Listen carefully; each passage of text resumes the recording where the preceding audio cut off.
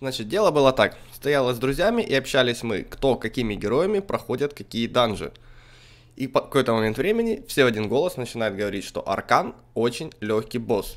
На что я говорю, эм, как бы минуточку, у меня далеко не самые слабые герои, но они у меня еле-еле проходят 12 level.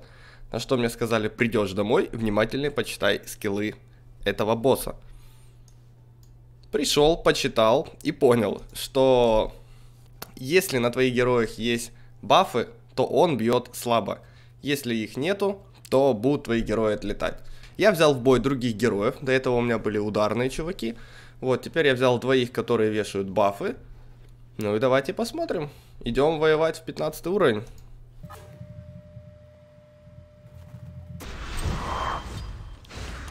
Думаю, нужно побыстрее сделать.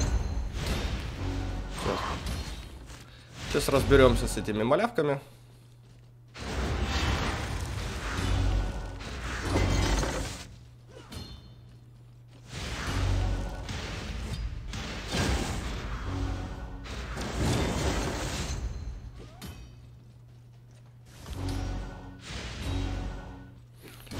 Что-то мне не нравится это.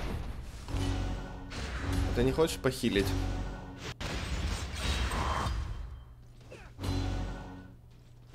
Не убивайте тетю. Не, по идее выживет. Давай. Отлично. Так, и вот, собственно, сам босс. Сейчас вот на минуточку я остановлю. Значит, у него написано, что инфликт на 75% more damage, то есть на 75% сильнее бьет, кто не имеет активных бафов. Ну, это походим сейчас. Ага, понятно. То есть, соответственно, надо убрать правого, потому что правый сбивает бафы. Мы просто выделим.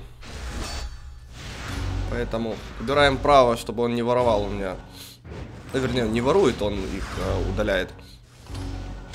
Все.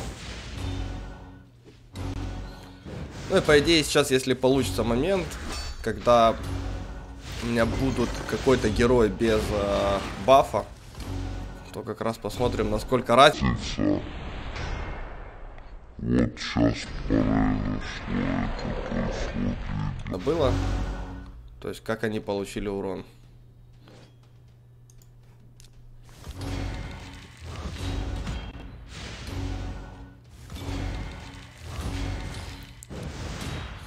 Ну, в общем, таким образом, получается, я с героями вообще ничего не делал.